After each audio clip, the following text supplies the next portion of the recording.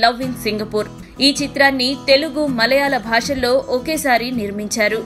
తెలుగు వర్షన్కి ఓఎస్ఆర్ ఆంజనేయులు మలయాళ చిత్రానికి బేబీ దర్శకత్వం వహించారు. తెలుగులో రంగనాథ్ చిరంజీవి లత నటించగా మలయాళంలో ప్రేమ్ నజీర్ సైమన్ లత నటించారు. ప్రముఖ మలయాళ నటుడు జోష్ ప్రకాష్ ప్రతినాయకుడి పాత్రలో తనదైన శైలిలో విలనిజం చూపించారు. ఈ చిత్రంతోనే ఆయన తెలుగు సినిమా చలనచిత్ర పరిశ్రమకు పరిచయం అయ్యారు ఎన్టీఆర్ కృష్ణ వంటి అగ్ర కథానాయకులతో చిత్రాలు నిర్మించిన ఎస్వీఎస్ ఫిలిమ్స్ అధినేతలు ఈ చిత్రాన్ని నిర్మించారు. ఇందులో రంగనాథ్ చిరంజీవి హీరోలుగా నటించినప్పటికీ ఆ రోజుల్లో చిరంజీవికి ఉన్న క్రేజ్ను గమనించి ఇది పక్కా చిరంజీవి చిత్రమని నిర్మాతలు ప్రచారం చేశారు.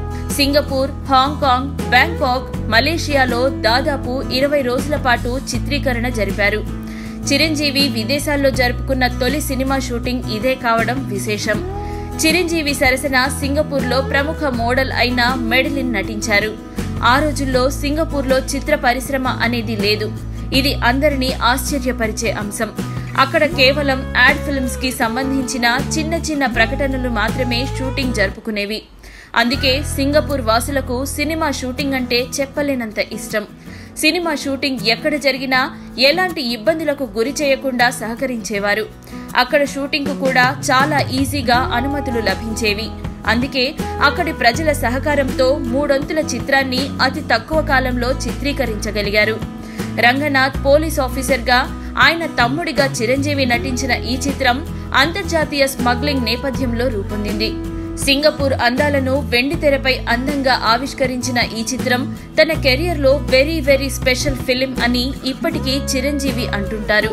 ఇక ఈ చిత్రం తెర వెనుక కొన్ని ఆసక్తికర సంఘటనలున్నాయి. అవేంటో తెలుసుకుందాం. కన్ని వయసు చిత్రం అప్పట్లో ఒక ట్రెండ్ సెట్టర్ పంతొమ్మిది వందల డెబ్బై మూడులో విడుదలైన ఈ చిత్రంలో నటీనటులు ఎవరికీ మేకప్ లేకుండా సహజ సిద్ధమైన లైటింగ్తో రూపొంది సంచలన విజయం సాధించింది. ఈ చిత్రానికి ఓఎస్ఆర్ ఆంజనేయులు దర్శకత్వం వహించారు. ఈ సినిమా హిట్ అయినా ఆయనకు ఆశించిన స్థాయిలో అవకాశాలు రాలేదు. తన దగ్గర మంచి కథ ఉందని తెలుసుకుని చిరంజీవి ప్రోత్సహించడంతో ఈసారి ప్రయోగాల జోలికి పోకుండా కమర్షియల్ అంశాలతో రాసుకున్న కథ ఒకటి చిరంజీవికి వినిపించాను. అది చిరంజీవికి ఎంతగానో నచ్చింది. ఆ చిత్రమే love in Singapore. Chiranjeevi clap కొట్టి తన చేతుల మీదుగా ప్రారంభించిన మొట్టమొదటి సినిమా ఇదే. ఈ చిత్రంలో జూనియర్ ఆర్టిస్టులంతా సింగపూర్ వాళ్ళే కావడం విశేషం. ఒక సినిమా షూటింగ్ కోసం చిరంజీవి విదేశాలకు వెళ్ళడం ఇదే తొలిసారి. అప్పటికి ఆయనకు పెళ్ళి కాలేదు.